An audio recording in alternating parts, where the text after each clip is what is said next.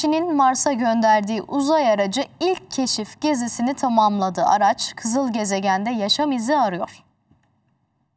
Çin'in Mars misyonunda önemli bir adım daha tamamlandı. Uzay aracı Zhurong, kızıl gezegenin yüzeyinde ilk kez gezintiye çıktı. Keşif turu cumartesi günü Türkiye saatiyle 15.40'da başladı. Böylece Çin Mars yüzeyinde ilk kez ayak izlerini bıraktı. Zhurong adını Çin mitolojisindeki ateş tanrısından alıyor. 240 kilogram ağırlığında 15 Mayıs'ta Mars'a iniş yaptı. 90 gün boyunca araştırma yürütecek. Geçmiş yaşama dair izler arayacak. Zhurong üzerindeki kamerayla fotoğraf çekiyor, donatıldığı cihazlarla kayaların mineral yapısını inceleyip çevreyi analiz ediyor ve hava durumunu ölçüyor. Çin, ABD ve Rusya'nın ardından Mars'a uzay araç yollayan üçüncü ülke oldu. Misyonun tüm aşamaları başarıyla ilerliyor. NASA'nın kızıl gezegene yolladığı Perseverance uzay aracı da yaşam kanıtı bulmak için çalışmalarını sürdürüyor. MOXIE adlı alet sayesinde Mars'ta ilk kez oksijen üretildi.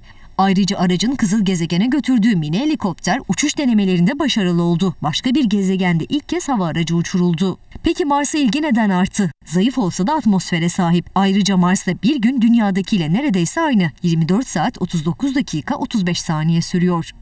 Yüzeyinde buz formatında su var. Yüzeyinin altında ise buz depoları olduğu düşünülüyor. İşte bu kaynağa erişmek için en iyi yer aranıyor. Eğer planlar başarılı olursa Mars insanlar için yeni yaşam alanı olabilir.